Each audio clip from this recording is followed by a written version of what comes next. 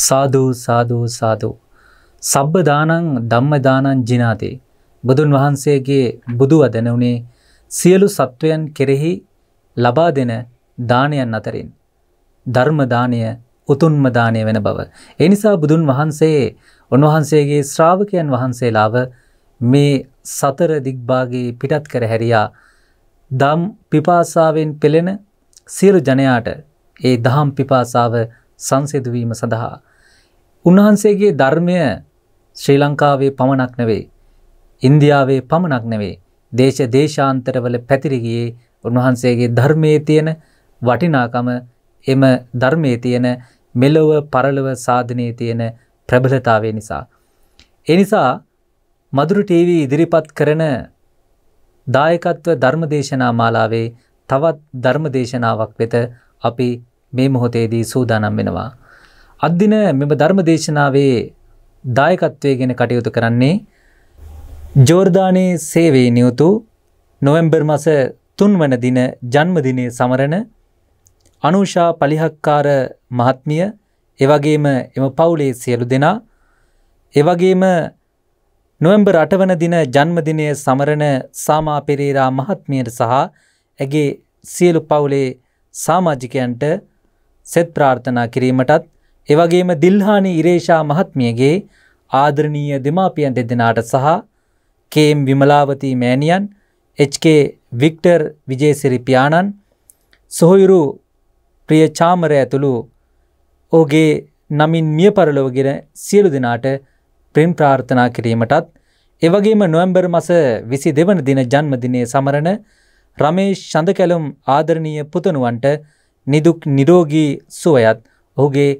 ඉදිරි අධ්‍යාපන කටයුතු සාර්ථක වීම සඳහා සෙත් ප්‍රාර්ථනා කිරීමටත් නොවැම්බර් මස 30 වන දින ජන්මදිනය සමරන බීකේ සංජීවා දිල්හානි මහත්මියට නිදුක් නිරෝගී සුවය ප්‍රාර්ථනා කිරීමටත් එතුමියගේ මියගිය බීකේ සුනිල් ගුණරත්න පියාට සහ ඇයව හදා වඩාගත් එම්.ඩබ්ලිව් විජේසීලි මහත්මිය ඇතුළු මියගිය සියලු දෙනාට පින් අනුමෝදනා කිරීමටත් එවගේම අද දින ධර්මදේශනාව සිදු කරනු ලබන ශ්‍රී ජයවර්ධනපුර විශ්වවිද්‍යාලයේ ජ්‍යෙෂ්ඨ කතිකාචාර්ය කුඩා කත්නෝරුවේ විනීත අපේ හාමුදුරන් වහන්සේ ප්‍රදාන රණවිරු සුවවිරු රටවැසි සියලු දෙනාට සෙත් ප්‍රාර්ථනා කිරීමටත් මෙම දායකත්ව ධර්මදේශනාවේ අරමුණ විදිහට අපි ඔබට සඳහන් කර සිටිනවා.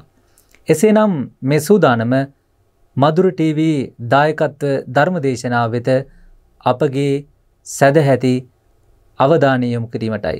අද දින ධර්මදේශනාව සිදු කරනු ලබන්නේ ශ්‍රී ජයවර්ධනපුර විශ්වවිද්‍යාලයේ ජ්‍යෙෂ්ඨ කතිකාචාර්ය පූජ්‍ය කුඩා කත්නෝරුවේ විනීත ස්වාමීන්ද්‍රයන් වහන්සේ. උන්වහන්සේට පාද නමස්කාර පූරකව ආරාධනා කර සිටිනවා මෙම ධර්මදේශනය සිදු කරන ලෙසට. අවසරයි ස්වාමීන්ද්‍රයන් වහන්ස. සමන්තා චක්කවාලේසු අත්‍රා ගච්ඡන්තු දේවතා සද්ධම්මං මුනිරාජස සුනන්තු සග්ග මොක්ඛදං ධම්මස්සවන කාලෝ අයං බදන්තා ධම්මස්සවන කාලෝ අයං බදන්තා ධම්මස්සවන කාලෝ අයං බදන්තා නමෝ තස්ස භගවතෝ අරහතෝ සම්මා සම්බුද්දස්ස. නමෝ තස්ස භගවතෝ අරහතෝ සම්මා සම්බුද්දස්ස. නමෝ තස්ස භගවතෝ අරහතෝ සම්මා සම්බුද්දස්ස. කායේන සංවරෝ සාධු සාධු ආචාය සංවරෝ මනසා සංවරෝ සාධු සාධු සබ්බත්ත සංවරෝ සබ්බත්ත සංවුතෝ බික්ඛු සබ්බ දුක්ඛා පමුංචති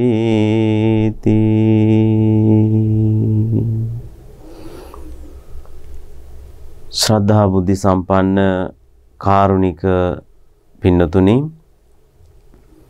පින්වත් හැමදෙනාම මේ සූදානම් වෙන්නේ ලෝතර බුදුරජාණන් වහන්සේගේ ශාසනයෙහි උගන්වන හැටියට දෙලොව වැඩදායි පින්කමක් ඉෂ්ට සිද්ධ කරන්නට.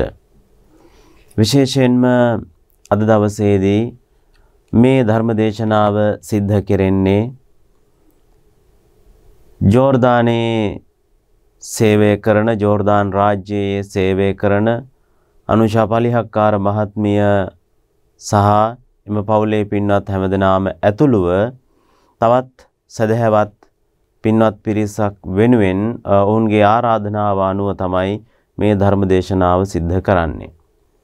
ඒ නිසා මේ අන්තර්ජාලය හරහා එවැගේම සමාජ මාධ්‍ය විවිධ මාධ්‍යයන් මගින් මේ ධර්ම දේශනාව මේ වෙලාවේදී ශ්‍රවණය කරන අනිකුත් සදහැවත් පින්වත් හැම දෙනාමත්ම මාමුලින් සඳහන් කළ පරිදි බුදුරජාණන් වහන්සේ දේශනා කළ ධර්මයට අනුව මහානීය පින්කමකුයි ඉෂ්ට සිද්ධ කරන්නට සූදානම් වෙන්නේ බලාපොරොත්තු වෙන්නේ. පින්වතුනි බුදුරජාණන් වහන්සේගේ ශාසනය උගන්වන ධර්මය තුල අපිට එක්තරා තැනක සඳහන් වෙනවා ත්‍රිවිධ ශාසනයක් පිළිබඳව. ඒ තමයි පරියත්ති ශාසනය, පටිපත්ති ශාසනය සහ පටිවේද ශාසනය හැටියට. එතකොට අපි පරියත්ති ශාසනය කියලා කියන්නේම බුදුරජාණන් වහන්සේ දේශනා කොට වදාළ ධර්මය. ඒ වගේම ඒ බුදුහාමුදුරුව දේශනා කළ ස්වාසූ දහසක් ධර්මස්කන්ධය අපි එක ස්කන්ධ හැටියට 84000ක් කියනවා. ඒ වගේම සූත්‍ර විනය අභිධර්ම හැටියට වෙන් කරනවා. මේ කවර ආකාරයකින් ගත්තත් එකඳු ධර්ම කාරණයක් ගත්තත් බුදුරජාණන් වහන්සේගේ සමස්ත ධර්මය අපිට උගන්වන්නේ මේ දේශනාව සිද්ධ කරන්නේ හුදෙක් දැනුමටම නොවේයි. ඒ ධර්මය නැත්නම් බුදුරජාණන් වහන්සේගේ පරියත්ති ශාසනය දැනගෙන ඒ තුල පටිපත්ති ශාසනය ප්‍රතිපත්තියේ යෙදීම තමයි අපි දෙවනි ශාසනය හැටියට සලකන්නේ. ඒ වගේම පටිවේද ශාසනය කියලා කියන්නේ යම් කෙනෙක් පරියත්ති ශාසනයේ බුදුරජාණන් වහන්සේගේ දේශනාව දැනගෙන එය ප්‍රතිපත්තිය හැටියට අනුගමනය කරලා ලබන ඵලය තමයි පටිවේද ශාසනය වෙන්නේ සෝවාන් සකෘදාගාමි අනාගාමි අරහත් කියන මාර්ගඵල සාධනය කරගන්නට පුළුවන්කම ලැබෙනවා. එනිසා ඔබ ලෝකේ කොතැනක ජීවත් වුණත් ඔබ හැමදෙනාම කල්පනා කරන්නට ඔබ සියලු දෙනාටම මේ ගෙවන සංසාර ජීවිතය අවසන් කරලා පටිවේද ශාසනයක් තුලින් මේ සංසාර ගමන අවසන් කරන්නට නම් ඒ වගේම පරම සුවය වුණු නිර්වාණය සාක්ෂාත් කර ගන්නට නම් අනිවාර්යයෙන්ම පරියත්ති ශාසනය හා ඒ වගේම පටිපත්ති ශාසනය කියන මේ ත්‍රිවිධ ශාසනයන්හි ඇසුර සහ යෙදීම අවශ්‍යම වෙනවා. ඒ නිසා පින්වත් හැමදෙනාම කල්පනා කරන්නට අද දවසේදී මේ ධර්ම දේශනාව සිද්ධ කෙරෙන්නේ අන් කිසිවක් උදෙසා නෙවෙයි අප හැමදෙනාගේම ඒකායන අපේක්ෂාව වන නිර්වාණය සාක්ෂාත් කර ගැනීමම අරමුණු කරගෙනයි මේ ධර්ම සාකච්ඡාවන් සියල්ලක්ම සිද්ධ කෙරෙන්නේ. ඒ වගේම පින්නතුනේ අපි බුදුරජාණන් වහන්සේගේ දේශනාව පිළිබඳව නැත්නම් දේශනාවෙන් උගන්වන කාරණාවන් බලනකොට බුදුහාමුදුරුව අපිට උගන්වන්නෙම මේ ධර්ම දේශනාව සිද්ධ කරන මමත් ජෝර්දාන් රාජ්‍යයේ පමණක් නෙමෙයි ලක්වැසි ලෝකවාසී පින්වත් අපි හැමදෙනාමම මිනිස්යෙන් හැටියට උත්පත්තිය ලබන්නේත් වෙනත් නාමයන්ගෙන් හඳුනා ගන්නා වූ සත්ව කණ්ඩායම්.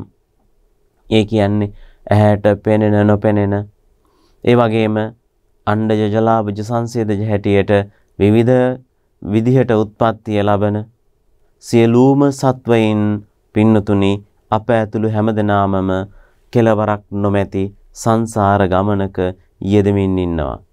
ඒ නිසා මේ යෙදිලා ඉන්න සංසාර ගමන තුල වඩා සුවපත් ධර්මානුකූල ගමනක් යෙදෙන්නටත් ඒ වගේම මේ ගමන තුල අපි මෙලවට පමණක් නොවේ පරලොවට ධර්මානුකූලව යමක් උපයා ගන්නටත් නැත්නම් ආධ්‍යාත්මික ජීවිතයක් පෝෂණය කර ගන්නටත් අවසාන වශයෙන් මුලින් සඳහන් කළ විදිහටම මේ ගමන අවසන් කරන්නටත් අපිට පුළුවන්කම ලැබෙන්නේම මේ බුදුරජාණන් වහන්සේ දේශනා කොට වදාළ ධර්මය තුල මුලින් සඳහන් කළ හැටියට ප්‍රතිපත්තිය සහ පටිවේද කියන මේ ශාසනයන් දැන හඳුනාගෙන එතෙන්ට ගමන් කිරීමෙන්මයි.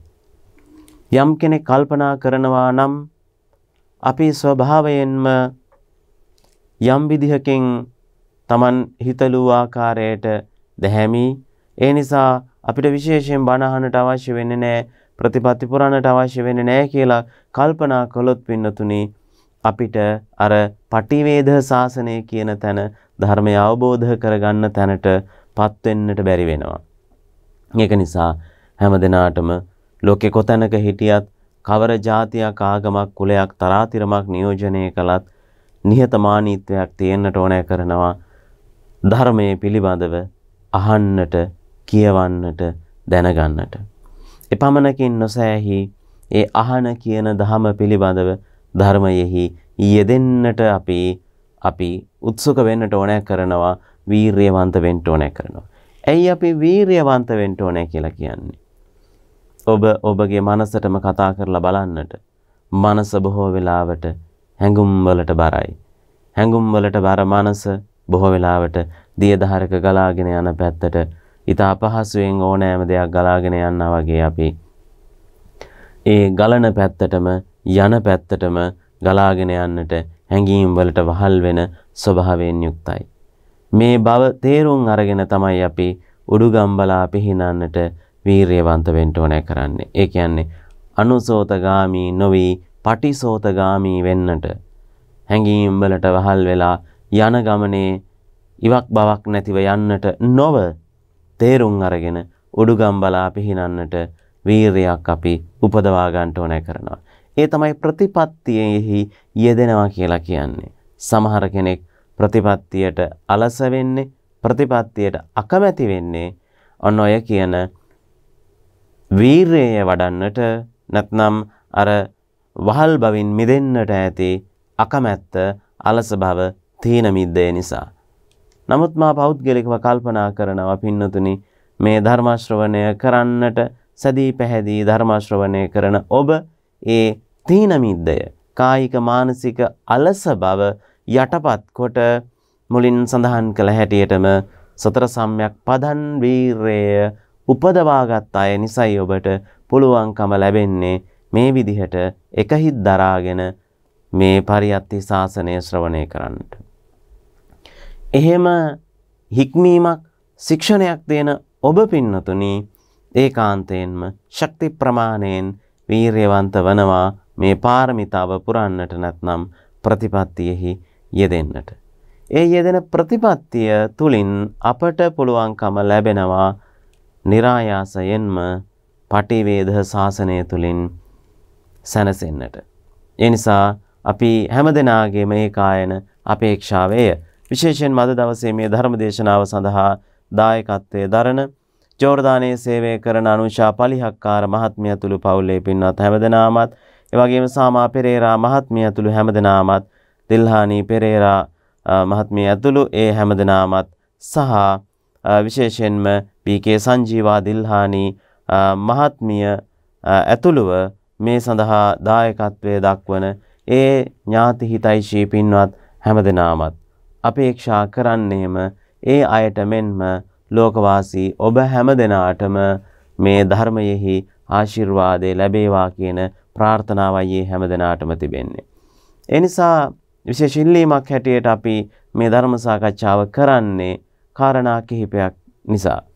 ඒ තමයි අනුෂා පලිහක්කාර මහත්මිය ඇතුළු ජෝර්දානයේ සේවය කරන අම්මාන් ප්‍රධාන නගරයේ ආශ්‍රිතව ජීවත් වෙන ඒ පින්වත් පිරිස මාසිකව බොහෝ දිනේ නිමිති කරගෙන සීල සමාදානයක යෙදෙනවා. අපි දන්නවා මේ ශාසනයට ඇලුම් කරන මේ ශාසනය පිළිවෙත් පුරන පින්නතුන් ලෝකෙ කොතැනක හිටියත් විශේෂ විහාරස්ථානයක ඇසුරක් නොලැබෙන දුරක ප්‍රත්‍යන්ත දේශයක හිටියත්.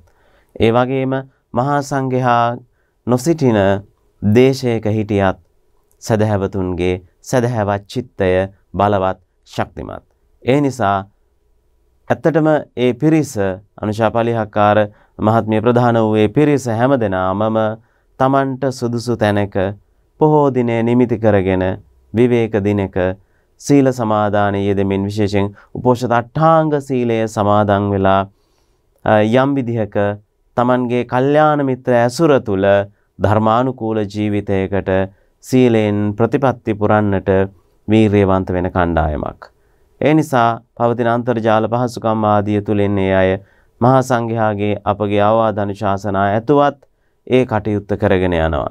ඒ නිසාමයි ඒ අය කල්පනා කරන්නේ ඔවුන් දුක් මහන්සියෙන් උපයා සපයා ගන්න මිල මුදල් විය පැහැදම් කරලා ලෝකවාසී හැමදෙනාටම Tamanගේ ප්‍රතිපත්තිය හඳුන්වා දෙන්නට ඒ අය සදහැසිතින් කල්පනා කරනවා. ඉතින් ඒ නිසා මහා සංඝයා වහන්සේ හැටියට ඒ සදහැවත් පින්වත් හැමදෙනාම ලෝකේ කොතැනක හිටියත් සදහැවන්තව සද්ධාවෙන් කටයුතු කරන අය නිසාමයි මේ ඒ අය වෙනුවෙන් අපි මේ අවවාද අනුශාසනාවන් සිද්ධ කරන්නේ.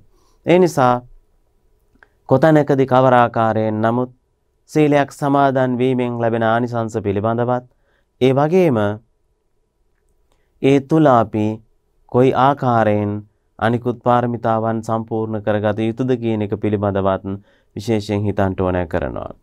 අපි මාතෘකා කරගත්ත ගාථාව ධමපදයේ බික්කුවගේන ගාථාවක්. කායේන සංවරෝ සාධු කයින් සංවර වීම මැනවි යහපත්. ඒ වගේම කායේන සංවරෝ සාධු සාධු වාචාය සංවරෝ වචනයෙන් සංවර වීම මැනවි. මනසා සංවරෝ සාධු සාධු සබ්බත් සංවරෝ. සිතින් කයින් වචනයෙන් කියන මේ තුන් දොරින්ම සංවර වීම මැනවි. සබ්බත්ත සංවතෝ බික්ඛු මේ ශාසනයේ යෙදෙන භික්ෂුවක් වේවා ඕනෑම කෙනෙක්. මේ කියන සියලු ආකාරයෙන් සංවර වන්නේද? සබ දුක්ඛා පමුච්චති සියලු දුක්ඛයන් නිවාරණය කරන්නේය අවසන් කරන්නේය.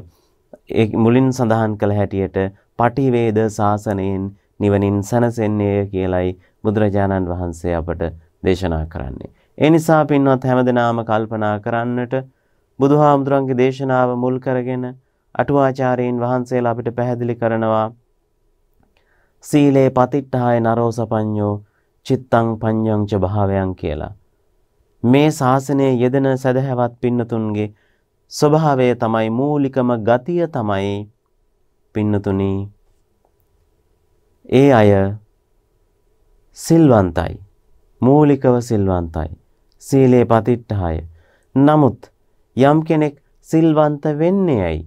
සිල්වන්ත වෙන්නේ නරෝ සපඤ්ඤෝ සපඤ්ඤෝ නරෝ ධර්මානුකූල ප්‍රඥාවෙන් යුක්ත මිනිස්සු තමයි සීලේ පතිට්ඨාය සීලේ පිහිටන්නේ. ඒ නිසා සීලේ පතිට්ඨාය නරෝ සපඤ්ඤෝ කියනකොට සපඤ්ඤෝ නරෝ ධර්මය අහලා දැනගෙන ඒ අනුව ප්‍රඥාව උපදවාගත්ත මිනිස්සු තමයි හැබෑම සීලයක නැත්නම් අදී සීල සික්ඛා සමාදානං කියන ආවශ්‍යක ධර්මවල උගන්වන හැටියට නිවන සඳහා වූ සීලයක පින්නතුනි පිහිටන්නේම ප්‍රඥාවන්ත මිනිස්සු.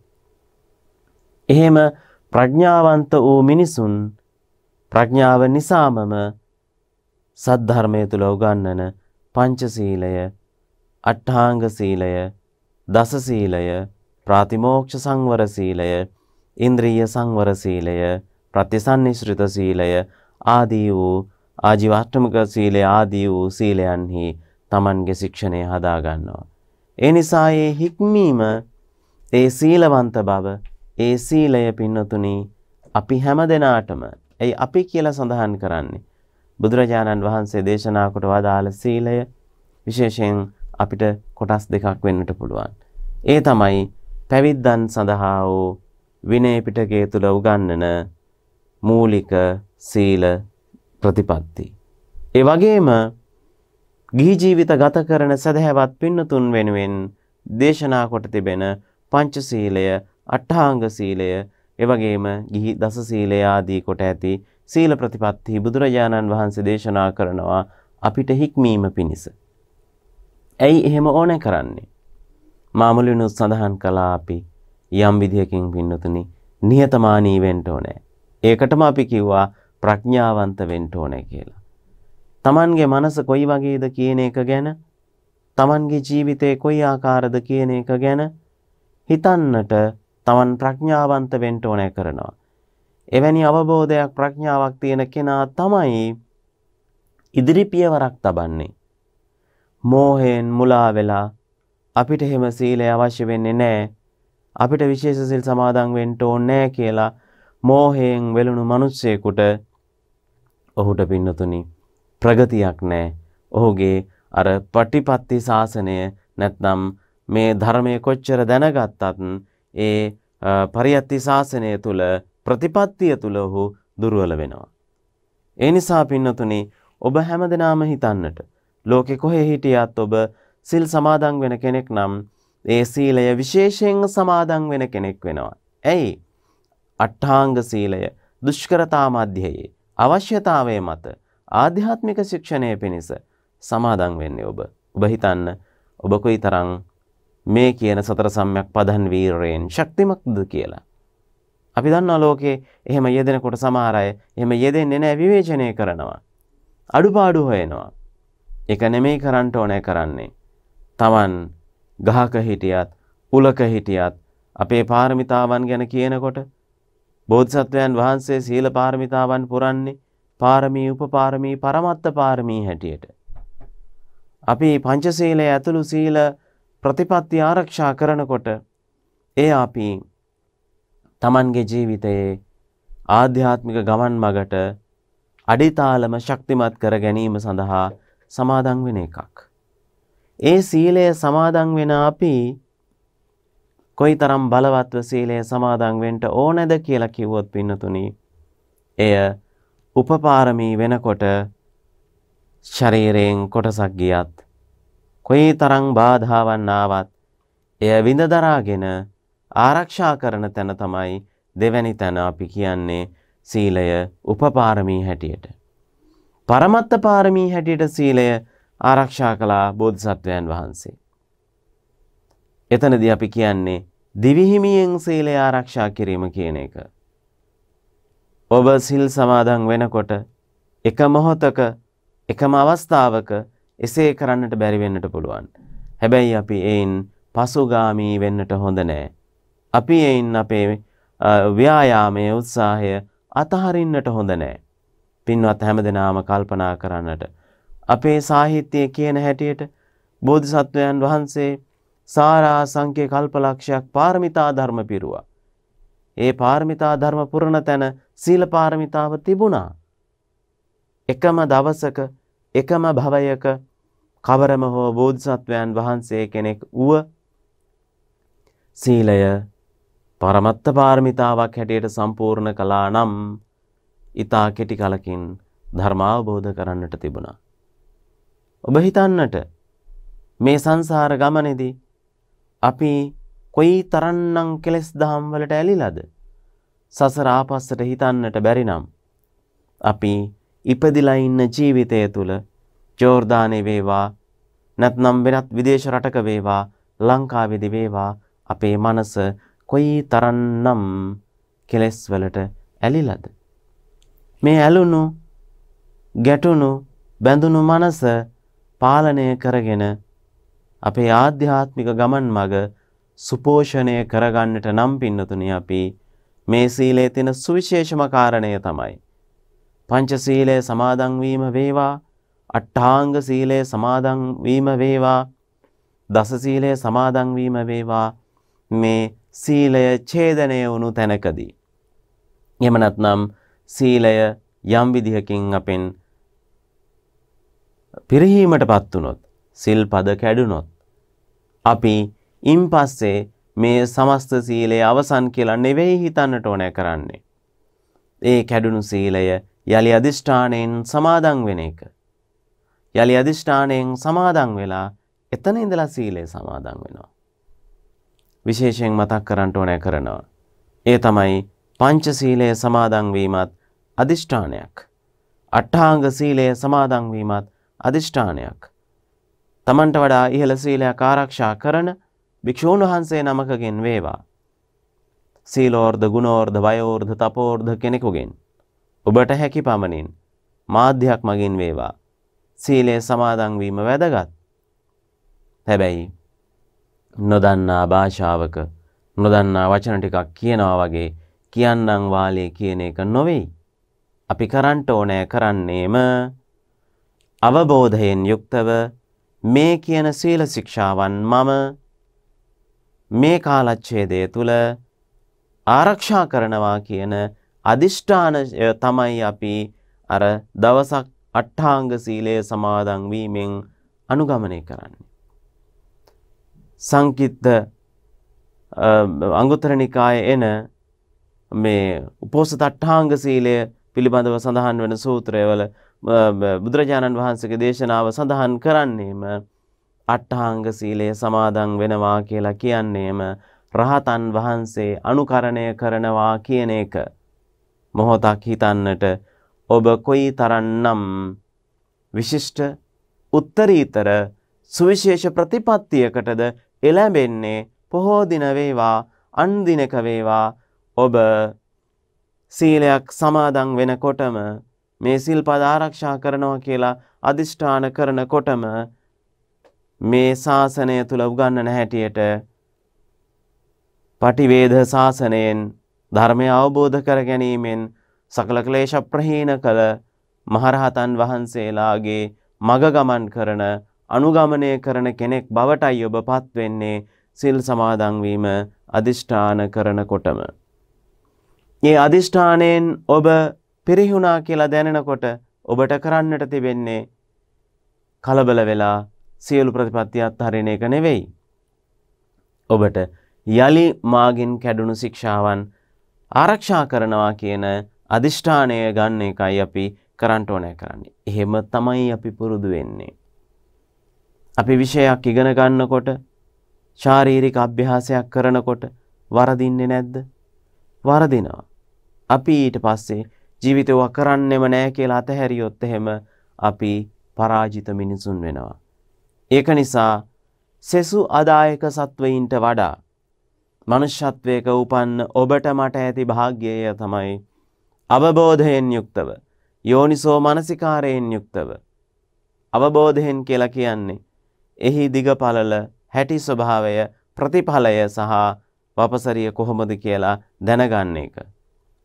ඒ වගේම අදිෂ්ඨානයෙන් අපි අරමුණක් කරා යන අරමුණක් අපිට තියෙන්න ඕනෑ කරනවා. යෝනිසෝ මනසිකාරය ඕනෑ සීලයට. ඇයි? අපි සිල් සමාදන් වෙන්න ඕනෑ කරන්නෙත් උපන්න සිහියෙන් සහ සිහිනුවනින්. සීලය ආරක්ෂා කරන්න පුළුවන්කම ලැබෙන්නෙත් අපිට සිහිනුවනින්ම සිත කය වචන කියන තුන්දර. කායේන සංවරෝ සාදු සාදු වාචාය සංවරෝ මනසා සංවරෝ සාදු සාදු සබ්බත්ත සංවරෝ. මැනවි මනා ධර්මානුකූලයි යහපත් හිතකය වචන කියන තුන්දර සංවර කරන එක. සීලයම කියලා කියන්නේ කය වචන දෙකේ සංවරය යැයි අපි හැමදෙනාම දන්නවා. හැබැයි කයත් වචනයත් සංවර කරගන්නේ අපි හුදෙක්ම කය වචනය සංවර කරන්න ඕන නිසාද? නෑ. කතා කරන්නට බැරි නම් කෙනෙකුට අතපය රිසිසේ විසිරුවන්නට බැරි නම් කෙනෙකුට ඔහු එහෙනම් සිල්වතෙක් යයි කෙනෙකුට කියන්නට පුළුවන්. නැහැ පින්නතුනි. බැරි නිසා දුර්වල නිසා නොහැකි නිසා සිරකර තබන නිසා යම් කායික හෝ වාචසික නිහඬ බව එහෙම නැත්නම් සක්‍රීය නොව නිෂ්ක්‍රීයව ඉන්න එක සීලය නෙවෙයි. සීලය කියලා කියන්නේම යෝනිසෝ මනසිකාරයෙන් එළඹ සිටි සිහියෙන් දැනුවත්ව සපඤ්ඤෝ නරෝ ධර්මානුකූල අවබෝධයෙන් යුක්තව ඕනෑ තරම් අවකාශ ඕනෑ තරම් නිදහස ඕනෑම තරම් හැකියාව තිබෙද්දී සීලයෙන් පරිබාහිර දේ කරන්නට සිල් ප්‍රතිපත්ති සිඳින්නට එසේ හැකියාව තිබෙද්දී නොකර සීලය ආරක්ෂා කරන්නට අධිෂ්ඨාන කිරීමම තමයි පින්නතුනි හැබෑ සීලවන්තයාගේ සීලය ආරක්ෂා කිරීමේ ඇති සුවිශේෂම තත්ත්වය පින්නතුනි. ඒක නිසා අපි එහෙම සීලයක් ආරක්ෂා කරනකොට අපි ඔබ විශේෂයෙන්ම සඳහන් කරන්න ඔබ සීල සමාදානය හැටියට සමාගමක් හැටියට පිරිසක් එකතු වෙන්නේ අට්ඨාංග සීලය සමාදන් වෙන්නට. තනියනුත් පුළුවනි. ඒ අට්ඨාංග සීලය සමාදන් වෙනකොට අපි විශේෂ සීල ශික්ෂාවන් අටක් අධිෂ්ඨාන කරනවා පංචසීලයට අමතරවත් කරුණු සහිතව. ඒක පින්නතුනි අපි උදාහරණයක් හැටියට සලකන්නේ අටුවාව දක්වන්නේ හරියට අපිට රකින්න ඕන දෙයක් රැකගන්න වැටක් බඳිනවා තාප්පයක් හදනවා වාගේ වැඩක්. අපිට ජීවිතේ විශේෂයෙන් රකින්න ඕන දේවල් නැද්ද? මේ දේශනාව අහන සදහැවත් පින්වත් ඔබ අම්මා කෙනෙක් වෙන්න පුළුවන්, තාත්තා කෙනෙක් වෙන්න පුළුවන්. ඔබ ඔබේ දරුවව රකින්නට දොර වහලා, වැට ගහලා ඒගොල්ලන්ගේ උසේ මට්ටමට අපි යනකොට ගෙවල් වල සමහර වෙලාවට දොරෙන් උඩින් පැනලා යන්න වෙනවා. ඇයි? අපි දන්නවා ගෙදර පුංචි අය ඉන්නවා කියලා. ඒ අය රකින්න ඕනේ වස්තු අම්මට තාත්තට. සහ මානව වර්ගයාටම වගකීමක් තියෙනවා දරුවන්ව රකින්නට. ඒගොල්ලෝ විශේෂයෙන් ආරක්ෂා කරගන්නට වැටක් යොදනවා. ඒ වගේ ඔබ සමහර වෙලාවට එහෙම අත්දැකීමක් නැතත් ඔබ සත්තුන්ට ආදරේ ඇති. ධර්මානුකූලව එය හොඳ නෑ සතුන්ව හිර කරන එක. හැබැයි ඔබ ඔබ එක්තරා විදියකින් මෝහයෙන් සතුන්වට ආදරය කියලා පෙන්වමින් ඔවුන්ව රකින්නට එක්කෝ වැටක් එහෙම නැත්නම් කූඩුවක් හදනවා. ඒ ඔබට ඕනෑකම නිසා රකින්න ඕනෑ කියලා ඔබ කියන්නේ. ඒක ධර්මානුකූල නෑ. ඒක පාපයක් අනුන්ගේ ජීවිතේ මිහිර කරන්නටයි තියෙන්නේ. දෙමව්පියන්ට දරුවන්ව රකින්නටයි තියෙනවා.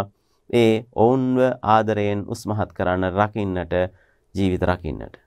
හැබැයි සතුන්ව හිර කරන්නටයි තියෙන්නේ. නමුත් මම මේ කියන්නේ ඔබ එදිනදා ජීවිතයේදී ඔබට ඕනෑ දේවල් රකින්නට සේප්පුවක්, අල්මාරියක්, වැටක්, බැම්මක්, කූඩුවක් හදනවා. ඒ වාගේ සීලය කියලා කියන්නේමත් අපි රකින්න ඕනේ යමක් සීමාවෙන් එහාට ගෝචර සීමාවෙන් එහාට නොයා යුතු යමක් රැක ගැනීම සඳහා අපි යොදා ගන්න සීමාව තමයි සීලය කියලා කියන්නේ. ඒ නිසා අට්ඨාංග සීලයත් එහෙම එකක්. හැබැයි ඔබ අට්ඨාංග සීලේ වැට බඳින්නේ බොහෝ දෙනා පොහොය දවසට. එහෙම නැත්නම් විදේශයක ඉන්න ඔබ Tamanට නිදහස් දවස. හැබැයි අතලොස්සක් ඉන්නවා හැකි හැම වෙලාවකම මේ වැට හදාගෙන ජීවත් වෙන සදහැවත් අය අපේ ඇසුරේ ඉන්නවා කියන එක පෞද්ගලිකව මම කියනවා. අපි හැමෝම දන්නවා. ඇතැම් අය මේ වැට බැඳගෙනම රාජකාරි කරනවා වෘත්තීය පවා දවස ගෙවන අය ඉන්නවා. එහෙම කරන්නට බැරිකමක් නැහැ. හැබැයි ගිහි ජීවිත ගත කරන ඔබට නිතරම මේ ශාසනය අවවාද අනුශාසනා කරන්නේ පංචශීලයෙන් මූලිකව ආරක්ෂා වෙනවා වගේම හැකි නිදහස් වෙලාවක ගිහි ජීවිතයට බාධා නොවන පරිදි එකක් වෘත්තීය ජීවිතය අනිත් එක පවුල් ජීවිතය මොකද ඔබ සාමූහිකව අනුන් තමන් කියන දෙපාර්ශ්වයක් නැත්නම් බොහෝ පිරිසක වගකීම් සහගතව ගෙවන ජීවිතයක්. ඔබ අභිනිෂ්ක්‍රමණය නොකළේ නම් ඔබ හුදකලා නොවුනේ නම් ඔබ ගේහසික ප්‍රේමයක වෙලිලා නම් ගිහි ගෙදරට අයිති ප්‍රේමයක ඒ වගේම ඔබ ගිහි සම්බාධ සහිතව නම් ජීවත් වෙන්නේ ඔබට නොහැකි ඇති කියලා ශාසනය පෙන්නලා දෙනවා මේ සිල්පද විශේෂයෙන් හැමදාමත්ම හැම වෙලාවෙමත්ම ආරක්ෂා කරන්නට. ඒකෙන් කියන්නේ සිල් බිඳින්නට නොවේයි සීලය සමාදන් වීම කියන එක විශේෂ සීල සමාදන් වීම කියන එක තමන්ගේ අර බාහිර සම්බාධක වලින් මිදුණු තැනක වෙන්න ඕනේ කියන එක. එතකොට අපහසුාවක් අනුන්ටත් තමන්ටත් නොමැති නිසා.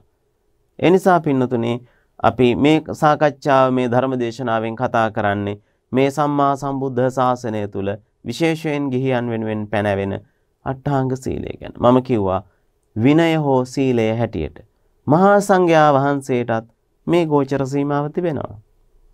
අපි දන්නවා අර එක සූත්‍රයක බුදුරජාණන් වහන්සේ පැහැදිලි කරනවා මේ කුම්භ ඉදිබුවන් ගැන සඳහන් කරනකොට. ඒ කියන්නේ ඉදිබු කණ්ඩායමක් ඉන්නවා ඉබ්බෝ ඒගොල්ලන්ගේ ප්‍රධානියෙක් ඉන්නවා ඒ වගේම පොඩි පැටවු ඉන්නවා. එතන විශේෂයෙන්ම විලක් ආසන්නේ තැනක ගල් පර්වතයකට මුවා වෙලා පිරිස ඉන්නේ.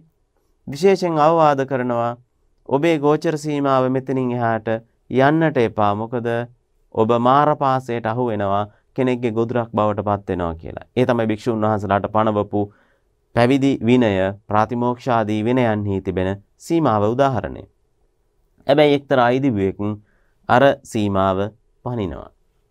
පැනලා ටිකක් දුර යනකොටම සතුන්ව දඩයම් කරන බිලී කොක්කක් වදිලා ඔහුව උඩට ඇදලා ගන්නවා. දඩයක් කරුවා විසින්. මාරයාගේ පාසයට අහු වෙනවා. ඒ කියන්නේ බුදුරජාණන් වහන්සේ මහා සංඝයාට වුව පෙන්නලා දෙන්නේ විනය සීලය පෙන්නලා දෙන්නේ මේ මාර පාසයෙන් මිදෙන්නට ඇති සීමාව. හැබැයි සීමාව ඉක්මවා ගියොත් බුදුන්ටවත් බෑ ඔහුව වළක්වන්නට. ඇයි බෑ කියලා කියන්නේ?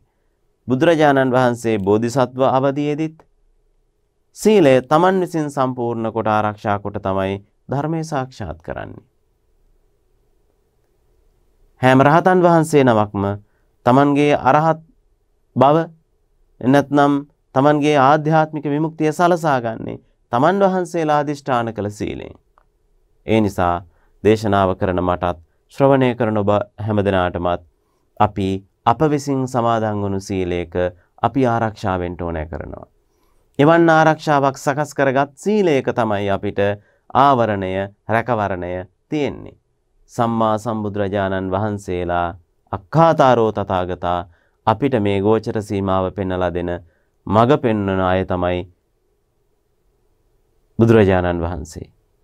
ඒ මඟ පිට ගියොත් ඒ මගින් ගිලිහුණොත් ඔබට මිත්‍යා මාර්ගයක් වෙන්නට පුළුවන් සසර මඟ දික් වෙන්නට පුළුවන්.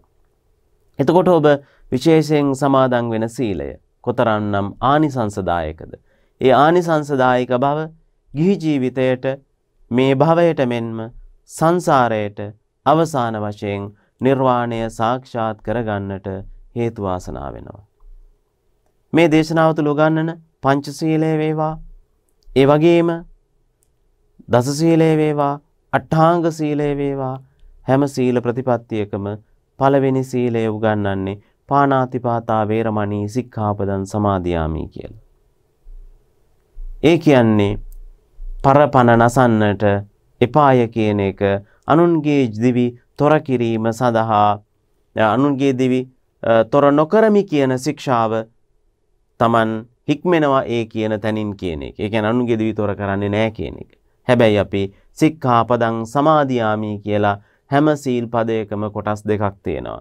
ඒ තමයි පරපණ නැසීම, සත්ව ඝාතනය, අනුන්ගේ දිවිතොර කිරීම කරන්නේ නැහැ කියන ශික්ෂාව සමාදියාමි කියනකොට එය හුදෙක් නොකරන ශික්ෂණය පමණක් නෙවෙයි අපි සමාදන් වීම. එතකොට නිහිත දණ්ඩෝ නිහිත සත්වෝ අවියායුධ නොගත් අතකින් ඒ වගේම අන් අයට එවැනි දෙයට නොපොළඹවමින් ලජ්ජී දයාපන්නෝ විශේෂයෙන්ම දයාපූර්වකව මෙත්තා කරුණා මුදිතා උපෙක්ඛා කියන මේ අපමඤ්ඤ ධර්මයන් පෙරදැරිව. ඒ නිසා අපි පවට ලැජ්ජාවෙන් පිනට කැමැත්තෙන් නිවනට කැමැත්තෙන් ධර්මානුකූල තැනක අන් දිවි රකින්නටත් අපිට වගකීමක් තිබෙනවා කියන එකයි සමාධයාමී වෙන්නේ. ඒ නිසා යම් කෙනෙක් මේ හැම සිල්පදයකටම අයිති.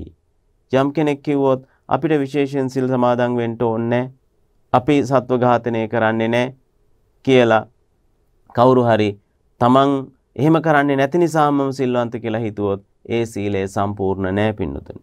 නරක නෑ යා. අපි එයාට කියන්නේ අපි නරක කෙනෙක් නෙවෙයි කියලා. අපේ වචනයක් තියෙනවානේ හොඳ හා නරක කියලා. මේක ටික අපි මේ විදිහට බලමු. සීලයට ගත්තාම පව් කරන්නේ නැත්නම් සත්ව ඝාතනය කරන්නේ නැත්නම් එයා නරක වැඩ කරන කෙනෙක් නෙමෙයි. පව් වැඩ කරන කෙනෙක් නෙමෙයි. හැබැයි අපිට කියන්න බෑ එයා හොඳ කෙනෙක්මයි කියලා. ඇයි අනුන්ගේ දෙවි ආරක්ෂා කරන්නට කරන කැපකිරීම කරන්නේ නැති නිසා. වැරද්දක් නෙවෙයි මේ කියන්නේ. ඒ නිසා අපි හැම වෙලාවකම අනුන්ගේ දිවි නහන්නේ නෑ අපිට මොකද කියලා අපි උපාසක කියලා හිතලා ඒ අන් අයට ඒ දේ වෙනකොට අහක බලාගන්න එක හරි ඒ තුල Taman ඒ දේ නොකිරීම තුළින්ම පිරිසුදු වෙනවායි කියන තැනක නෙමෙයි අපි ඉන්ට ඕනෑ කරන්න අපි සමාජයට ආදර්ශවත් හොඳ සක්‍රිය කෙනෙක් වෙන්ට ඕනෑ කරන නිසා සමාධයාමී කියන තැනදී අපි සක්‍රියේ වනුන්ගේ දිවි ආරක්ෂා කරන්නටත් ඒ පෙළඹෙන අයවෙන් මුදවා ගන්නටත් කියන තැනක අපි කැපවෙන්නට ඕනෑ කරනවා. ඒ වගේම අදින්නාදානා වේරමණී සික්ඛාපදං සමාධයාමී කියනකොට අනුන් නොපෑවරූ නොදුන්නු ඒ වගේම හිමියන් නොමැති යම් දෙයක් අපි ලබා ගන්නේද, පවරා ගන්නේද, පැහැර ගන්නේද, මගේ කරගන්නේද, භුක්ති විඳින්නේද? එය පින්නතුනි සරලයි සැහැල්ලුයි කියලා කෙනෙකුට දැනුණත් වැටිලා තියෙන මුදල් පසුම්බියක් අහුලගෙන ඒක ලැබුණනේ කියලා හරි අපි ඒක පරිභෝජනය කරනවා නම් මගේ කරගෙන ඒක ධර්මානුකූල ශික්ෂණයක් හෝ සීලයක් නෙවෙයි. ඒ අපි අදින්නාදානා වේරමණී කියනකොට අපි අනුන්ගේ දේ අනුදැනුමකින් තොරව නොගැනීම නම් වූ ශික්ෂාව ශික්ෂාවෙන් ආරක්ෂා වෙනවා වගේම සමාධයාමී කියනකොට අන්‍ය දේපල වස්තු ආරක්ෂා කරන්නටත් අපි කැප වෙලා ඉන්නවා ඒ සඳහාද කැපවෙන්ට ඕනෑ කරනවා. බිත්ති හතරකට හෝ වැටකට සීමා වුණු තමන්ගේ බිම් කඩක තමන් තමන්ගේ විතරක්ම දේ ආරක්ෂා කරගෙන ඉන්නවා කියන එක පින්නතුනි එක්තරා කුහක ලාමක අදහසක්. අපි අන් අයගේ දේද සුරකින්නට එවැනි දේ පෙළඹෙන අයට මුදවා ගන්නට පවා අපි කැපවීම සමාධයාමි කියන තැන තිබෙනවා.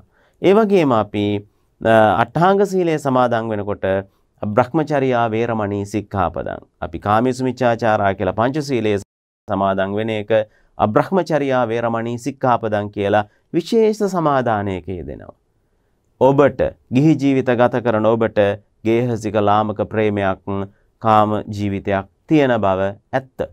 ඒක මේ ශාසනය ආරක්ෂා කරන්නට ඕනෑ කියනවා ඒක තියෙන්ට ඕනෑ කියනවා ඒක අවශ්‍යයි කියන එකත් මේ ශාසනය පෙන්නලා දෙනවා ගිහි ජීවිතයට. හැබැයි ඔබ හොඳින් මතක තබා ගන්නට ඔබ යාව ජීව සීලයක් නෙවෙයි ගිහියන් අට්ඨාංග සීලය සමාදන් වෙනවා කියන එක යාව ජීව සීලයක් නෙමෙයි. ඒ කියන්නේ දිවි ඇති තාක් සමාදන් වෙන සීලයක් නෙවෙයි අට්ඨාංග සීලය අපේ පින්නතුන් සමාදන් වෙන්න ඕනේ කරන්නේ සහ වෙන්නේ. ඇයි එහෙම වෙන්නේ? ඔබ අර කියන ලාමක කාමුක ආශ්වාදයක යෙදෙනෙක් ලාමකයි කියලා කියන්නේ දෝෂයක් නෙවෙයි නිවනට යම් විදිහක මග අහුරන නිසා. එතකොට එය ඒ තුළ තියෙන තෘප්තිය හෝ එහෙම නැත්නම් ඒ තුළ තියෙන යෙදීම කියන එක යම් කාලච්ඡේදයක් තුළ අත්හරින්නට එයට නොයදෙන්නට ඇති හැකියාව තමයි අපි ඒන් කියන්නේ. මේ සගුණ සහ නිර්ගුණ හැටියට මේ බ්‍රහ්ම කියන වචනේ යෙදෙන අවස්ථා ගොඩක් තියෙනවා. මොකද Hindu දහමාදී ಭಾರತೀಯ චින්තනය තුළ බ්‍රහ්මන් කියලා දෙවියෙක් ගැන කතා කරනවා. අපි බ්‍රහ්මන් ගැන කතා කරනවා. ඒක විශේෂයෙන්ම සඳහන් කරන්නේ මේ මේ ආකාර ඒ කියන්නේ සගුණ කියන්නේ ආකාර ගුණ දක්වන්න බැරි තත්වය හා ආකාර ගුණ දැක්විය හැකි බ්‍රහ්මන් කියන එක.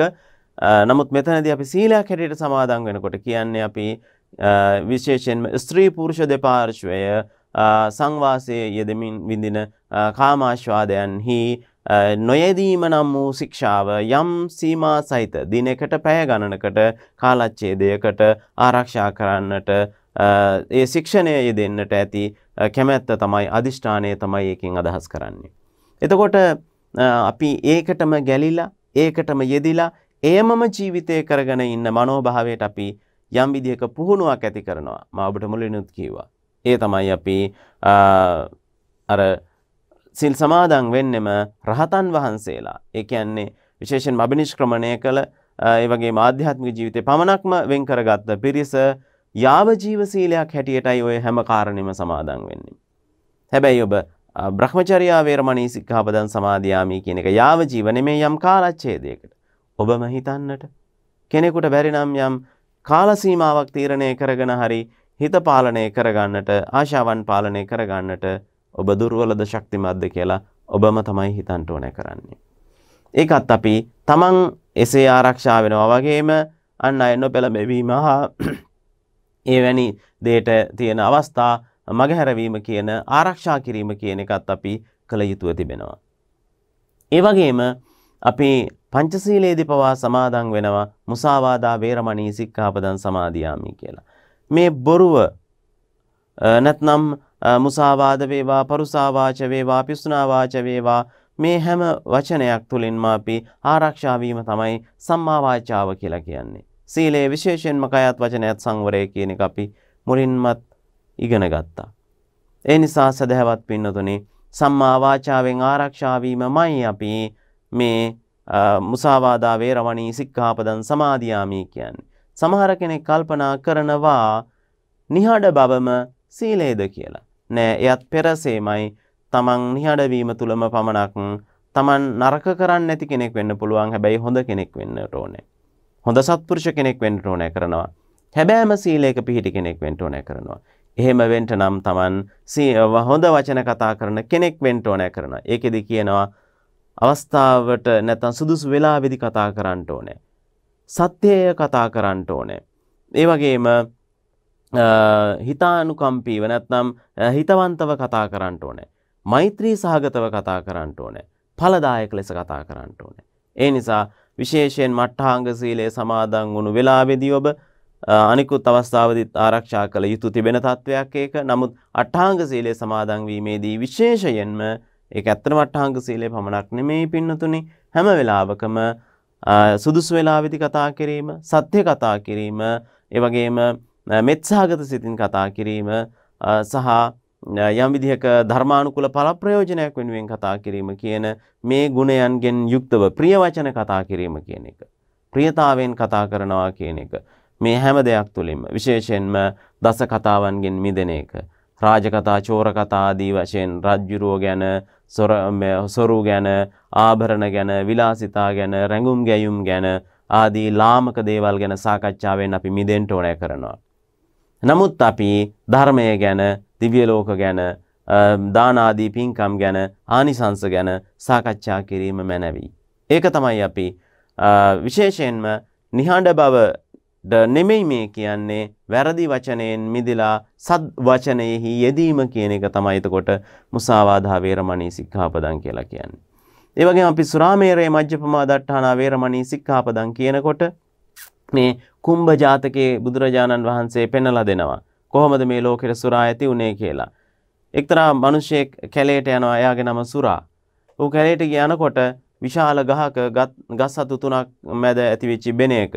එතන තිබ්බ අරලු, නෙල්ලි, ගම්මිරිස් ආදී දේවල් පැහිලා මෝරලා වැටෙනවා ඒ බෙනේට. ඒ බෙනේට වැස්සකින් වතුර වැටෙනවා. දවල්ට අවුවට මේක කැකෑරෙනවා. ඒ නිසා කහට වතුරක් හැටියට මේක හැදිලා තව තව දේවල් එකතු වෙලා මේ ආශ්‍රව කියන්නේ ඒ වචනේ තේරුම ආපූර්ව ශ්‍රූ ධාතුව කියන එක ආශ්‍රව කියන්නේත් මේ නරකුණු පල්ලුණු දේ කියන එක. ආශ්‍රව රාසුරා හැදෙනවා ඒකේ. සත්තු ඇවිදිලා පායන කාලේ තිබහට අර බෙනේ තියෙන වතුර බොනවා. කුරුල්ලෝ වඳුරෝ සත්තු. හැබැයි ඕන් වැඩි දුර යන්නේ නැහැ. අර කියන මත් බවින් වැටෙනවා. අර අපි කීව කැලේට ගිය සුරා කියන මිනිස්සයා මේක දැකලා කල්පනා කරනවා මේ සත්තු ටිකක් වෙලා වැටලෙඳලා ඉගිලිලා යනවා. ඒ නිසා මැරෙන්නේ නැහැ. කියලා ඔහුත් අරකින් ටිකක් පානය කරනවා. පානය කරලා මත් වුණාට පස්සේ ඔහුට අර වැටලා ඉන්න සත්තු පුච්චගෙන කන්න හිතෙනවා. ඔහු එහෙම කනවා. පස්සේ උණ බටවලට ඒක පොරවගෙන ගිහිල්ලා ළඟ හිටපු තාපසයෙකුටත් දෙනවා. තාපසයාත් ඒකට ඇබ්බැහි වෙනවා. ඊට පස්සේ යනවා රජ්ජුරුව ළඟට. රජ්ජුරුවෝත් ඒකට ඇබ්බැහි වෙනවා. ඊට පස්සේ රජ්ජුරුව කැලෙන් හිමාලෙන් ගෙනල්ලා ගෙනල්ලා අරක පාවිච්චි කරලා මත් වුණාට පස්සේ ඇබ්බැහි වෙලා නිෂ්පාදනය කරන්න පටන් ගන්නවා. ඊට පස්සේ මේ සුරාව අර කෙනාගේ නමින්මයි මේ මද්‍රව්‍ය නම් වෙන්නේ සුරා හැටියට. ඊට පස්සේ ඒක සමාජගත වෙනවා.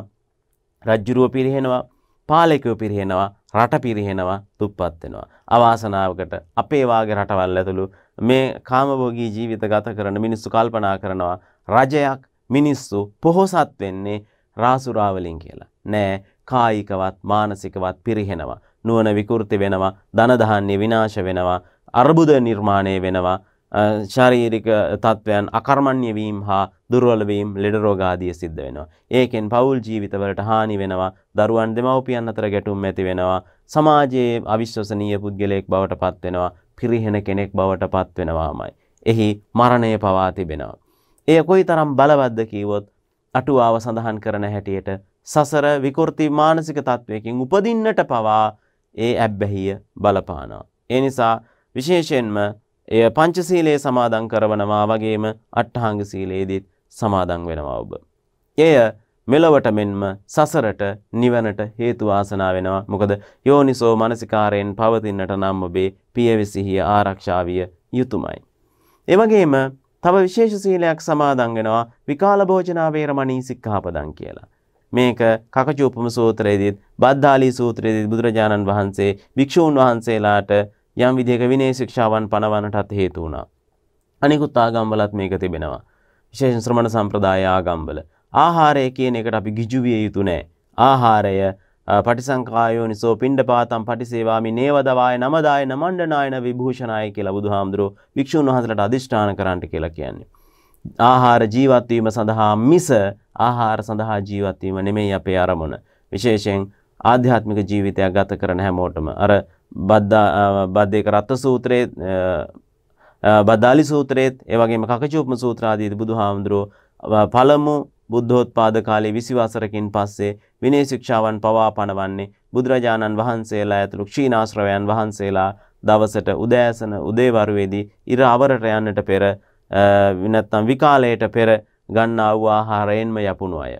ඒ නිසා එතනදී බුදුහාමුදුරුවෝ පැහැදිලි කරලා පෙන්නනවා කයෙහි නිරෝගී බව, ඒ වගේම මත් බවින් මිදීම, සෞඛ්‍ය සම්පන්න බව, ශරීරයේ දැඩි බව, ශක්තිමත් බව හා ආධ්‍යාත්මික කාරණාවලට මනස මෙහෙයවන්නට තියෙන හැකියාව ප්‍රඥාව පුබුදු වීම හා ධෛර්යය සම්පන්න වීම කියන මේ ලක්ෂණ ආහාරයට ගිජු නොවීම තුළින් අවේලාවේ ආහාර නොගැනීමෙන් ලැබෙනවා කියන එක.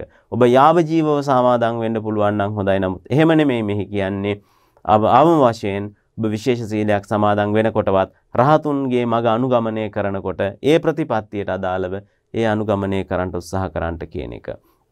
ඒ ඔබේ එදා දවසේ ඔබ දානශීල භාවනාදී පිළිවෙත්වල යෙදෙනකොට එහි පහසුව පිණිස විශේෂයෙන් හේතු ආසනා වනවාමයි ප්‍රමාණවත්ව නිසි වේලාවේ ආහාර ගැනීම. ඇතම් කෙනෙක් හිතනවා 12න් පස්සේ ආහාර නැති නිසා කොසල් රජුරුව වාගේ නැලි ගණන් ආහාර. එයත් දවසේ සිල් සමාදන් වෙච්ච දවසේ ඉතුරු ටික පවා කාලය විනාශ වෙන්න හේතු වෙන්න පුළුවන්. ඒ වගේම අපි නච්ච ගීත වාද්‍ය විසූක දස්සන මාලා ගන්ධ විලේපන ධාරණ මණ්ඩන විභූෂණට්ටානා වේරමණී සික්ඛාපදං කියලා තවත් සීලයක් සමාදන් වෙනවා. කෙටියෙන්ම කීවොත් ගිහි ජීවිත ගත කරන ඔබට නැටුම් ගැයුම් වැයුම් සහ ආභරණ ආයිත්තම් ආලේපනාදීය තහනම් කරන්නේ නෑ මේ ශාසනය. උපදි සම්පත්තිය වෙනුවෙන් මනාකායික රූප ශෝභාවක් ආරක්ෂා කරගෙන සමාජීය ජීවත් වීම උදෙසා ඔබට අවශ්‍ය වෙන්නට පුළුවන් වෘත්තීය ජීවිතය අනුව ඔබ ගැටෙන සමාජය අනුව සහ ඔබේ තියෙන ශා අංග ලක්ෂණ අනුව එවැනි දේ අවශ්‍ය විය හැකි ඒක ගැටලුවක් නෙමෙයි. නමුත් පින්නොතනි ඔබ අට්ඨාංග සීලය සමාදන් වෙනකොටවත් මේ කියන හුදු ලාමක ඇබ්බැහිවීම් වලින් නැත්නම් ලාමක ආටෝප සාටෝප වලින් මිදිලා හිත හදාගෙන ආභරණ වලින් තොරව ආයිත්තම් වලින් තොරව නියම ප්‍රකෘති පෙනුමෙන් ඉන්න පුළුවන් නම් පිරිස මැද්දේ ඔබේ මනසේ තියෙන අර ව්‍යාජ බවින් තොර අව්‍යාජව ඔබට දහමෙහි යෙදෙන්නට පුළුවන්කම ලැබෙනවා ඒවා අත්හරින්නට පුළුවන්කම ලැබෙනවා. මොකද රහතන් වහන්සේ මෙන් යාව ජීව නොව తాවකාලිකව ඔබ කරන්න පුරුදු වෙනකොට මතු යම් දිනක යාව ජීවයේ කරන්න පුළුවන්කම ලැබෙනවා. ඒ වගේම උච්චාසයන මහාසයනා වේරමණී සික්ඛාපදං කියලා අපි අවසාන දසවෙනි අටවෙනි ශික්ෂාපදේ සමාදන් වෙන්නේ උසසුන් මහාසුන්හි ඉඳගන්නේ නෑ පරිහරණය කරන්නේ නෑ කියන එක. එයින් අදහස් කරනවා මේ වඩු රියන් කියලා අටුවාවේ සඳහන් කරනවා. ඒ වගේම සුලැඟිල්ලේ ප්‍රමාණයෙන් 8ක් කියලා කියනවා. සාමාන්‍යයෙන් අදහස් කරනවා විශේෂයෙන් අඟල් 24ක වාගේ ප්‍රමාණයක් කියන ඊට වඩා උඩ ආසනයක් අපි සිල් සමාදන් වුණු අවස්ථාවේදී ඉල්ලන්නේ ප්‍රාර්ථනා කරන්නේ නැති බව. විශේෂයෙන් එහි වාඩි වෙන්නේ නැහැ කියන එක. ඒ වගේම මහා සයන කියලා කියන්නේ විල්ලුද ඒ වගේම පලස් යොදන ලද ලොම් වලින් සකස් කරන ලද සුව පහසු අසුන් ප්‍රාර්ථනා නොකිරීම ඒවාෙහි නොයෙදීම කියන එක. ඔහොම ශික්ෂාවක් භික්ෂුන් වහන්සේලාට පනවපුවාම විටක භික්ෂුන් වහන්සේලා ගිහි ගෙවල් වලට ගිහිල්ලා පවා පුටුවල ඉඳ ගන්න නැති වෙන්නේ පටන් ගත්තා. ඒ වෙලාවේ බුදුහාමුදුරුවෝ පැහැදිලි කරනවා නෑ එවැනි ආසනයක සයනය නොකරන්න ඔබට ගිහි ගෙදරකදී එවැනි ආසනයක් ලැබුණොත් ඉඳගත්තාට කමක් නෑ කියන තත්ත්වය. නමුත් ගිහි ජීවිත ගත කරන ඔබ ඔබේ ගෙදර ඕනෑම සුව පහසු ආසනයක් උසාසනයක් තියෙන්නට පුළුවන් පන්සලේදි වේවා සිල් සමාදන්ගන විශේෂ තැනදි වේවා සිල් සමාදන් වුණු දිනේදී ඒ කියන සුව පහසු අසුන් ආදීය සහ උසාසුන් කියන දේවල් ප්‍රාර්ථනා කිරීමකින් තොරව සැහැල්ලු සරල අවශ්‍යතාවය පහසුව සඳහා වන තැනක යෙදීම තමයි ඕනෑ කරන්නේ. එතකොට ඔබට පැහැදිලි මේ අට්ඨාංග සීලය නැත්තම් ගිහි උපෝසත සීලය තුල උගන්වන්නේ අන් කිසිවක් නෙමේ බුදුරජාණන් වහන්සේගේ දේශනාව පැහැදිලි කරන හැටියටම ඒක විශේෂයෙන්ම මේ සංකිත්ත අට්ඨංගු පෝසත සූත්‍රය සංකිත්ත අට්ටංගු පෝසත සූත්‍රයේ කියන හැටියට මහරහතන් වහන්සේලාගේ මග අනුකරණය කිරීමමයි ඔබ මේකෙන් කරන්නේ. ආනිසංස පිළිබඳව පැහැදිලි. ඒ තමයි යමෙක් ප්‍රාණඝාත නොකරනවා නම් සොරකම් නොකරනවා නම් ලාමක කාම ආශ්වාදයන්හි යෙදීමෙන් යම් කාලයකට හරි අබ්‍රහ්මචර්යාව නැත්නම් කාමාශ්වාදයන්හි යම් කාලයකින් හෝ මිදලා ඉන්නවා නම් බොරුවෙන් අනුන් නොරවටා විශ්වසනීය පුද්ගලයෙක් බවට පත් වෙනවා නම් කායිකවත් ලෞකිකවත් ආධ්‍යාත්මිකවත් පිරිහෙන පුද්ගලයෙක් නොවි මතට ලොල් නොවියෙකු වෙනවා නම්.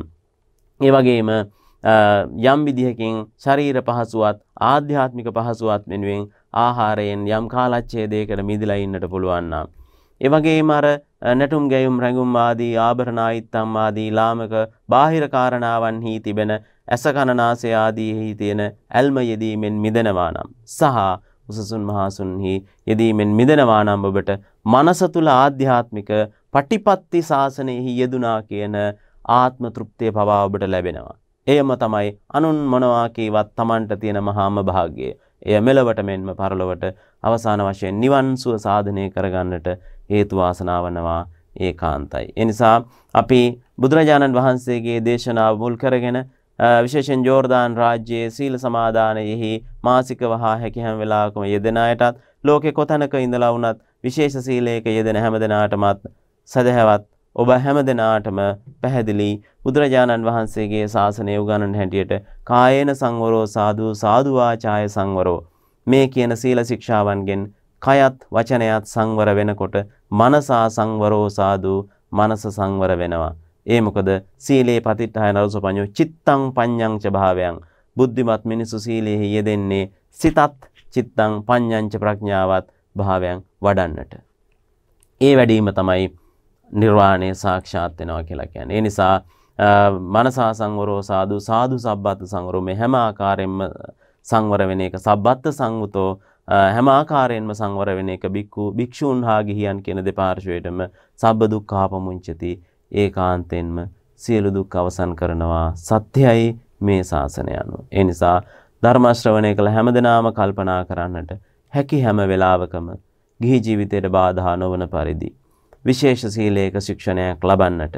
එය ආරක්ෂාව සඳහා වන විශේෂයෙන්ම ශික්ෂණයෙහි යෙදීමත් සමාදන් වීමෙන් සමාජය හා මුළු ලෝකයක් සුවපත් කරන්නටත් අපි හැමදෙනාටම වගකීමක් ඇති බවත් තේරුම් අරගෙන හැබෑම සීලයකයේදී මෙලොව මෙන්ම සංසාරයේ සුවපත් කරගන්නටත් අවසන අමා මහ නිවන් සුව ලබන්නටත් ඔබට සබ දුක්ඛා පමුංචති. සියලුම දුක් නිවන්නටත් ශක්තිය ධෛර්ය වාසනාව ලැබේවා ලැබේවා කියලා ප්‍රාර්ථනා කරමු. ආකාසට්ටාච භුම්මට්ටා දේවානාගා මහිද්దికා පුඤ්ඤන්තං අනුමෝදිත්වා චිරං රක්ඛන්තු ලෝක සාසනං ආකාසට්ටාච භුම්මට්ටා දේවානාගා මහිද්దికා පුඤ්ඤන්තං අනුමෝදිත්වා චිරං රක්ඛන්තු දේශනං ආකාසට්ටාච භුම්මට්ටා දේවානාගා මහිද්దికා පුඤ්ඤන්තං අනුමෝදිත්වා චිරං රක්ඛන්තු ත්වං සදා හොඳයි හැමදෙනාම කල්පනා කරන්නට අද දවසේදී මේ විශේෂයෙන් මාධ්‍ය හරහා මේ ධර්ම දේශනාව මధుර රූපවාහිනී නාලිකාවත් ඒ වගේම අනිකුත් මාධ්‍ය මගින් ප්‍රචාරය කරන මේ ධර්ම දේශනාව සඳහා විශේෂයෙන් දායකත්වයේ දරන්නේ ජෝර්දානයේ සේවය කරන අනුෂා පලිහක්කාර මහත්මිය එතුමියගේ දාබර ස්වාමි පුරුෂයා පුංචි දියණිය පුතණුවන් ඇතුළු පවුලේ පින්වත් හැමදෙනාම විශේෂයෙන්ම අනුෂා පලිහක්කාර මහත්මියගේ උපන්දිනය නොවැම්බර් මාසේ 3 වෙනිදාට යෙදෙනවා. ඇයට ඇතුළු පවුලේ හැමදෙනාටම නිදුක් නිරෝගී සුව චිරජීවනයේ ප්‍රාර්ථනා කරන අතරම පවුලේ නමින් මියගිය සිළු දෙනාට පුණ්‍යානුමෝදනා කරන්නටත් ජීවත් වන හැමදෙනාටමත් ආශිර්වාද පිණිස මේ ධර්මදේශනාවේ මූලික දායකත්වය ගැන කටයුතු කරනවා. ඒ වගේම නොවැම්බර් 8 වෙනි දින උපන්දිනයේ සමරන සාමා පෙරේරා මහත්මිය සිය දරු මුණුපුරු මිනිපිරියන්ට ආශිර්වාද කිරීමත් ඒ වගේම ඥාතිත මිත්‍රාදීන්ට පුණ්‍ය ආනුමෝදනා කිරීමත් අවසාන වශයෙන් හැමදෙනාටම නිවන් සුව ප්‍රාර්ථනා කරමින් දායකත්වයේ දරන්නේ 8 වෙනි නොවැම්බර් 8 වෙනිදාට උපන්දිනය සමරන සාමා පෙරේරා මහත්මිය ඇතුළු පින්නතුන්.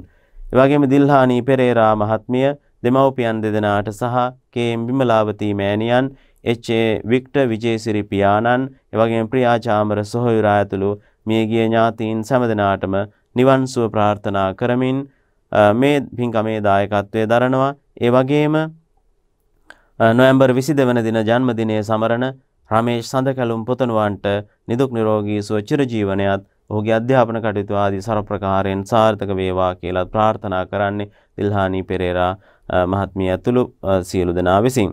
ඒ වගේම නොවැම්බර් මාසේ 30 වෙනිදාට ජන්මදිනයේ සමරන බී.කේ. සංජීවා දිල්හානි මහත්මිය සංජීවා දිල්හානි මහත්මිය නිරෝගී මහත්මියට නිදුක් නිරෝගී සුව ප්‍රාර්ථනා කරනවා වගේම විශේෂයෙන් එතුමියගේ නමින් මියගිය බී.කේ. සුනිල් ගුණරත්න පියාණන්ට ඇය වහදා වඩා ගත්තා වූ එම්.ඩබ්ලිව් විජේසීලී මහත්මිය ඇතුළු මියගිය සියලු දෙනාට පුණ්‍ය ආනුමෝදනා කරමින් ඒ හැම දෙනාටම අමා මහ නිවන් සුව පිණිස සංජීවා දිල්හානි මහත්මිය ඇතුළු පින්නතුන් විසින් දායකත්වයේ දරනවා අවසාන වශයෙන් මේ හැමදෙනාම දේශකයාණන් වහන්සේ ඇතුළු මේ ශාසනය සුරකින්න මහා සංඝයා වහන්සේටත් රටදෑ සමය සුරකින්න ජාතිය සුරකින්න රණවිරුවන් සුවවිරුවන් ඇතුළු හැමදෙනාටමත් මිය ගිය අයට පින් දෙනවා වගේම ජීවත් වෙන අයට ආශිර්වාද කරනවා මේ හැමදෙනාම.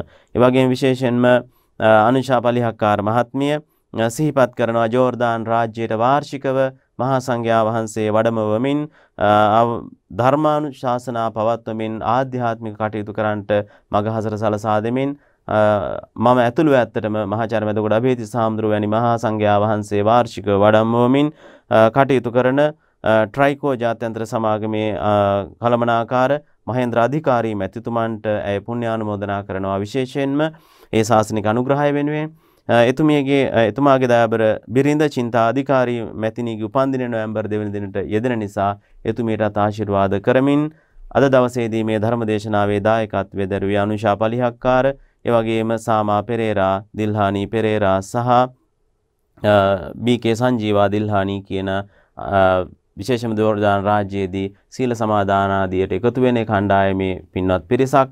වගේම අනිකුත් හැම දෙනාමත්ම ධර්ම ශ්‍රවණය කළ හැම දෙනාමත්ම මේ පින්කමේ දායකින් වෙනවා. ඒ නිසා අපි අවසාන වශයෙන් කල්පනා කරමු. නම් සඳහන් කළ පින්වත් හැම දෙනාටම වගේම නම් සඳහන් කළ නොකළ ඔබ නමින් මියගිය සියලු දෙනාට පුණ්‍යානුමෝදනා වේවා. ජීවත් වන ඔබට ආශිර්වාද වේවා. සුවපත් සංසාර ගමනක කෙලවර අමා මහ නිවන් සුව ලබනු පිණිස මේ පුණ්‍යඵල ධර්මයන් හේතු වාසනා වේවා වේවා කියලා සාදු කියලා ප්‍රාර්ථනා කරමු. භවතු සබ්බ මංගලං රක්ඛන්තු සබ්බ දේවතා සබ්බ බුද්ධානුභාවේන සදා සොත්ති භවන්තු තේ භවතු සබ්බ මංගලං රක්ඛන්තු සබ්බ දේවතා සබ්බ ධම්මානුභාවේන සදා සොත්ති භවන්තු තේ භවතු සබ්බ මංගලං රක්ඛන්තු සබ්බ දේවතා සබ්බ සංඝානුභාවේන සදා සොත්ති භවන්තු තේ